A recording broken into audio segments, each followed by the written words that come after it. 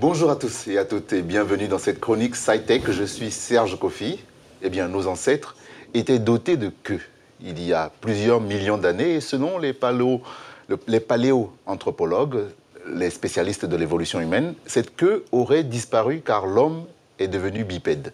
Ce membre manquant, des ingénieurs de l'université de Keio à Tokyo au Japon ont voulu le combler avec leur queue robotisée destinée aux personnes âgées.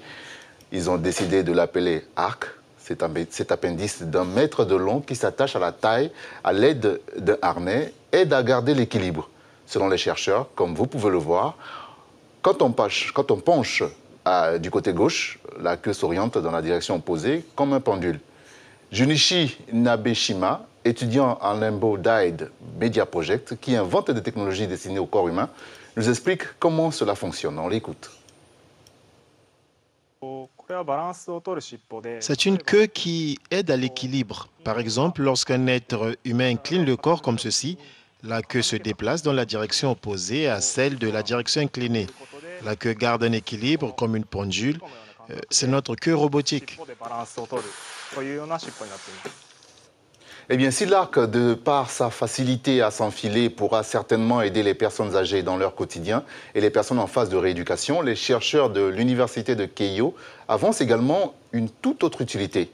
La queue robotique pourrait être un accessoire amusant pour les jeux vidéo intégrant la réalité virtuelle, car elle ajouterait un retour intéressant au corps du, joueur qui se promènerait euh, dans des, des mondes virtuels. Le prototype a été présenté au public, mais aucune date de commercialisation n'a pour le moment été annoncée, car les scientifiques cherchent d'abord à rendre l'arc plus compact et portatif.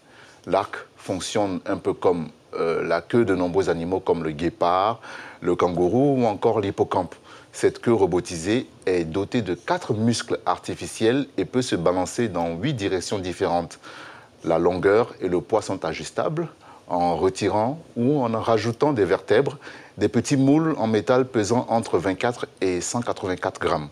Outre les personnes âgées, l'équipe vise aussi les travailleurs qui doivent porter des lourdes charges. La queue peut donc servir à réduire l'effort en créant un contrepoids.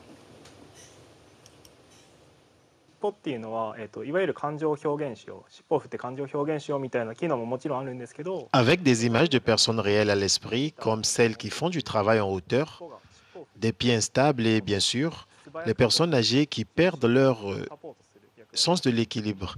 Nous continuons à développer notre produit pour d'autres applications dans la vie réelle. J'ai vu largement la configuration des appareils prothétiques.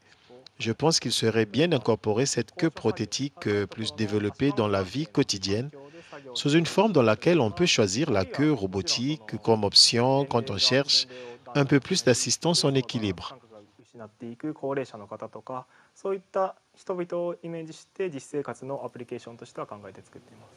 On peut bien comprendre la motivation d'une telle invention. Un tiers de la population japonaise aura plus de 65 ans en 2025. Le pays mise donc à fond sur la robotique pour faire face au vieillissement. De plus en plus de, de plus en plus d'aides technologiques sont mises au point aujourd'hui au Japon et fournissent un appui à l'autonomie et permettent au maximum à la personne d'agir par elle-même face à ces difficultés sans dépendre d'une intervention externe. Mais nous ajoutons pour dire que ces technologies ne doivent pas infantiliser et isoler les personnes âgées. Elles doivent donc, elles doivent au contraire créer un lien.